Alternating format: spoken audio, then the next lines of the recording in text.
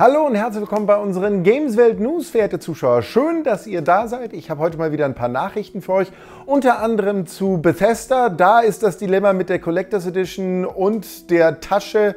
Tja, da scheint es jetzt wohl doch eine Happy End zu geben. Dann Red Dead Redemption Online, beziehungsweise Red Dead Redemption 2 Online. Da wurde jetzt gesagt, dass an der Wirtschaft des Spiels gearbeitet wird. Außerdem Carmageddon. Kommt da jetzt vielleicht wieder mal ein Comeback? Und dann habe ich noch ein bisschen was zur Halo TV-Serie. Da gibt es leider einen Rückschlag zu verzeichnen. This sprawling underground shelter may have been engineered by Vault-Tec, but it was built by you. So that if the bombs do come, our way of life will endure.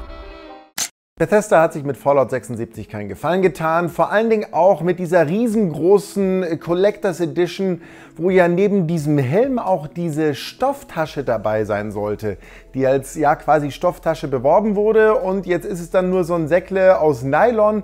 Das fanden viele Leute nicht sehr, sehr gut, vor allen Dingen auch wie Bethesda darauf reagiert hat. Erst wurde so gesagt, so tja, müsst ihr halt mit leben.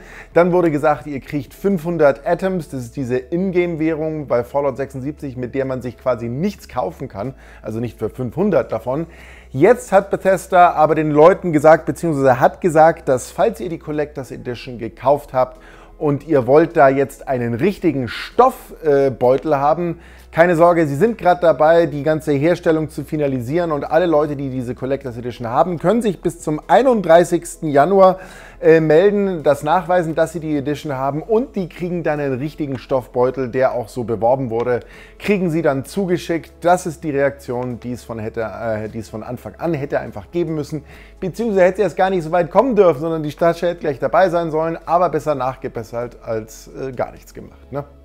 Red Dead Redemption 2 Online ist ja jetzt seit, ja, äh, ich glaube einer Woche oder so online und die Beschwerden zur Ökonomie des Spiels wurden immer lauter. Es war ja so, dass jemand errechnet hat, um einen Goldbarren zu kommen, muss man ungefähr acht Stunden spielen, wenn man den nicht gerade irgendwie findet oder so. Und viele der Preise in den Läden sind wohl relativ teuer im Vergleich dazu, was man im Spiel für Belohnungen bekommt. Und da gab es so einen kleinen Aufstand. Äh, Rockstar hat jetzt reagiert und hat über Twitter bekannt gegeben, dass man sich dem Problem bewusst ist, dass man an der Wirtschaft des Spiels arbeiten werde und man Aktivitäten lohnender machen werde und sie äh, dadurch auch unterhaltsamer sein sollen. Äh, auch an Bugs will man arbeiten. Was das jetzt genau heißt und wie die Wirtschaft dann im Spiel aussehen wird, das weiß man natürlich nicht. Aber wie gesagt, der Aufschrei hat was gebracht. Mal schauen, wie die Preise dann in ein paar Wochen sind, beziehungsweise wenn dann der erste Patch da ist. Carmageddon, das war früher ein Spiel der Kontroverse, weil da konnte man mit diesem Rennspiel oder in diesem Rennspiel konnte man ja Fußgänger komplett überfahren und das war äh, damals zu krass für den deutschen Index. Ähm, jetzt versucht die Serie eventuell ein Comeback. Ich weiß, es gab in den letzten Jahren schon immer mal wieder ein Carmageddon-Spiel. Jetzt hat aber wieder mal THQ Nordic den Geldbeutel aufgemacht. Die kaufen ja, wie gesagt, alles, was nicht bei drei auf dem Baum ist. Und so jetzt auch die Markenrechte an Carmageddon. Ähm, mehr weiß man noch nicht. Das heißt natürlich, dass da irgendwas kommen kann, aber man weiß noch nichts genau. Ich würde aber damit rechnen, dass da in den nächsten oh, ein bis zwei Jahren irgendwas angekündigt wird, was in diese Richtung geht.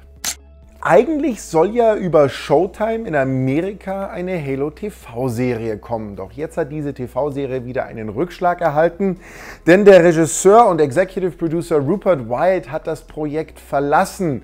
Warum? Nun, weil es gab Probleme bei der Produktion und der Zeitplan hat sich verschoben nach hinten und das hat wiederum zu Zeitplan, äh, Zeitplanproblemen von Rupert Wyatt geführt, weil er auch noch andere Projekte am Laufen hat und deswegen musste jetzt die Halo TV-Serie aufgeben. Die soll aber weiterhin noch stattfinden, wie vom Sender Showtime gesagt wird. Man muss jetzt halt Ersatz finden für den guten Rupert.